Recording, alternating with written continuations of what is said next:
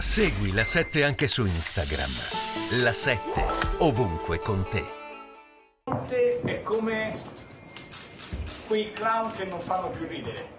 Io dico, il Movimento 5 Stelle ci faccia sapere. Eh, Io penso che il Paese non possa più aspettare. C'è bisogno di rimettersi in moto, c'è bisogno che il governo Draghi possa governare. Se vogliono andare alle elezioni, si va alle elezioni. Se si vuole andare avanti con questo governo, si va avanti con questo governo, che è la scelta che noi preferiamo. Se si vuole fare un Draghi bis, si faccia il Draghi bis, ma non si può più far aspettare la gente. Allora, professor De Masi, eh, intanto un commento.